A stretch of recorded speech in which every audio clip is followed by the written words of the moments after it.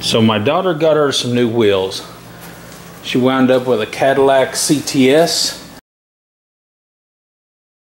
So now I am going to get this Jeep prepped for selling. There's lots of videos out there doing touch up on body damage and trim and all that good stuff. So I'm going to be fixing all the pink trim and bring, taking it back to black.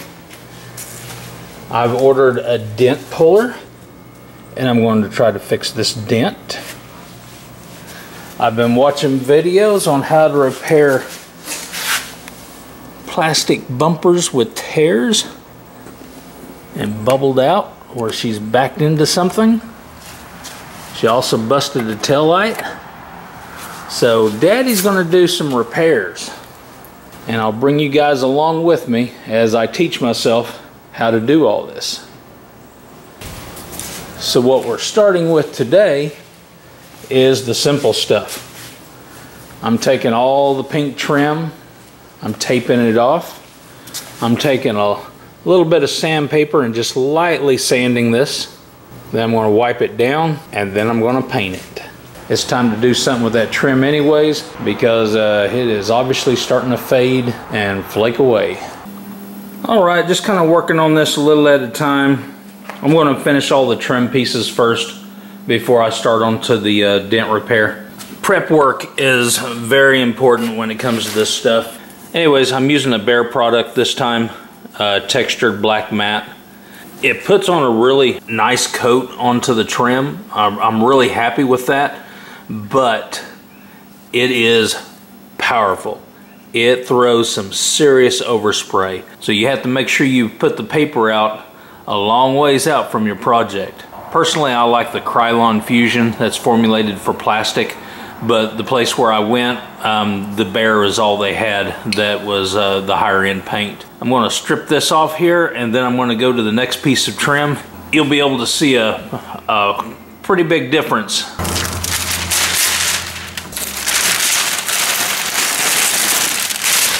Okay, there we go. Paper's off and uh, it's looking pretty good. So now all I have to do is go through here and tape this off. It looks like there's some kind of tar or something. You want to make sure you get that all cleaned up. Even though it's not the surface that you're going to be painting, you want all this clean so you're not having to uh, come back and rub on the fresh paint. So I'm going to go through here and give this thing a light sanding on probably 150 grit and uh, wipe it all down with mineral spirits, let it dry. And then I'm going to tape it all off and prep it for painting.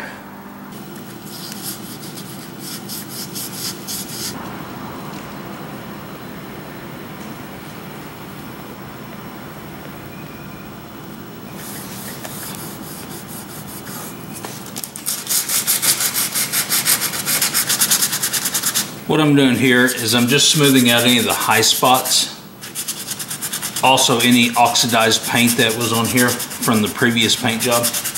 Then I'll wipe all this back down before I tape it all off. Okay, she's all wiped down. Now it's time to do a little taping. Pretty simple, straightforward. Just take your time with it.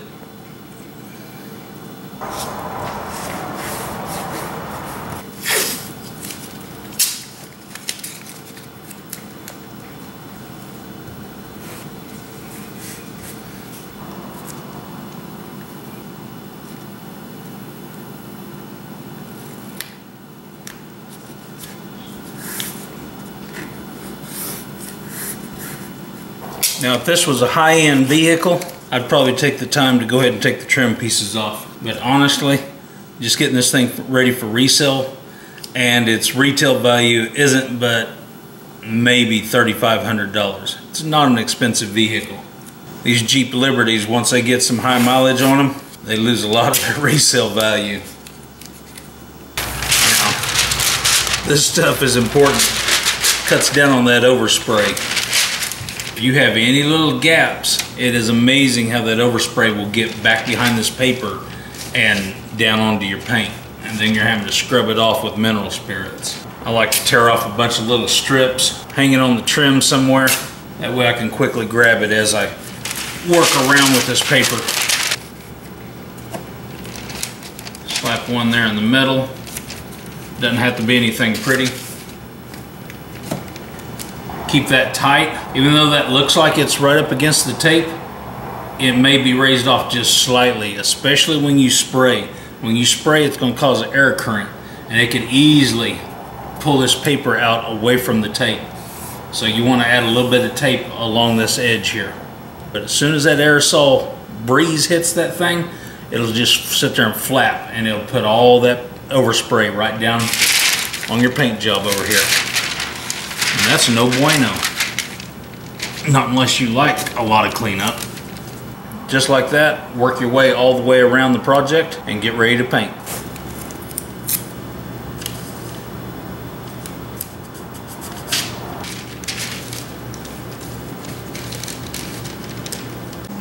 Okay, she's taped off pretty good. Make sure you give your can a good shake. Don't be timid with the nozzle. If you just lightly push down on this, you're gonna throw out some spurts of paint and you don't want that. You want a nice fine fan of paint coming out. I like to kind of do the edges lightly. Hard to get places. Always hit those first and then come back over the front. Just light touch.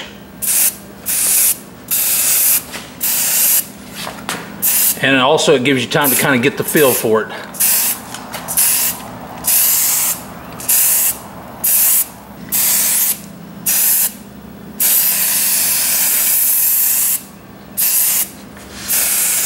The face. Different angles on the uh, writing. There we go, that's looking pretty good. One more time. Got to be careful though, because you sure don't want to do it to the point to where it starts running. All right, that looks pretty good. All right, I'll let that set for an hour or so. Pull the paper and tape off and make sure I don't have any overspray issues that got onto the paint. If I do, I'll get them taken care of with the mineral spirits. All right, so I'm going to continue on around the entire Jeep. Still got the other side to do over here. So I've got a little bit of work to do. And then we're gonna jump over to dent repair and replacing this tail light. And last will be this little train wreck.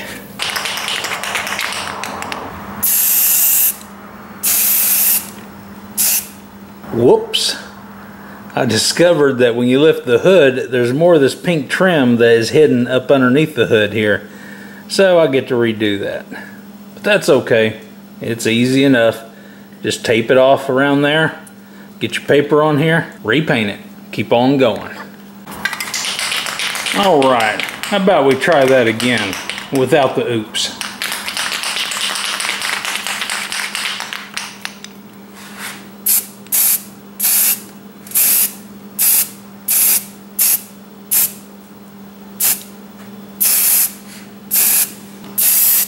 Just as simple as that.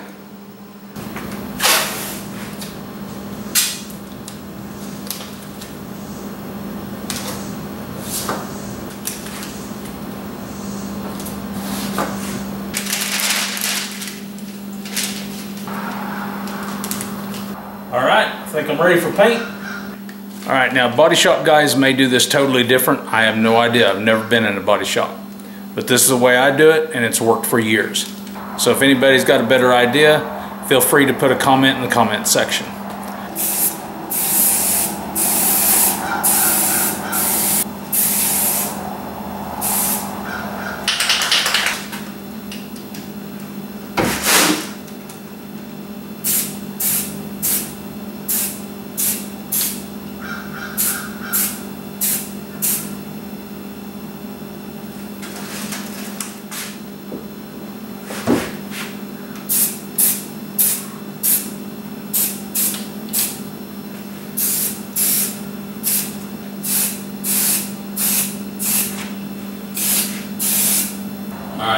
Everything's looking really good.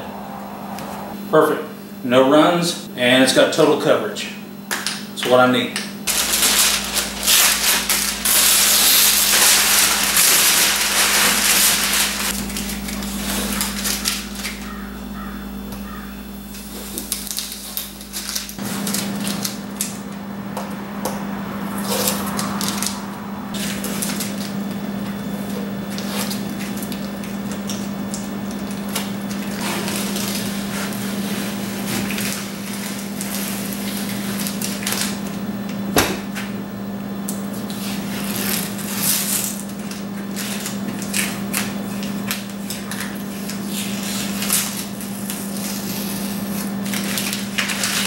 Oh, oh, look at that. Very nice, very nice. Why don't we ever have basic food, like a sandwich or something? Because I cook meals. We don't have pre-made meals. Well, I need something to take for school, so I don't have to come home and eat lunch or buy food every day. Huh. You know what? Walmart Supercenter has a grocery section. You can just get after it. You don't cook every meal, you just skip lunch. Mom don't eat lunch for some weird reason. I don't need as many meals nowadays. Uh, young adults. Oh boy. And that one? That one moves out in five days. Somebody's about to get a taste of reality. Going from living in a great big log house where everything, everything is provided at a whim's wish to out on your own. Wish I could video that. Back to the conversation at hand. So there are the trim pieces all painted up and looking really good. Also got another little surprise in today. I didn't know it was coming in today. Look at that. Ooh, doggies. Brand new tail light to replace the one my daughter smashed. So I believe we'll be doing that next and then we'll move on to the dent repair.